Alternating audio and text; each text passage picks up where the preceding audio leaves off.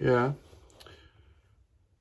Right, right. Um, music is a gift from God and must be kept alive by the young musicians to survive, in my opinion.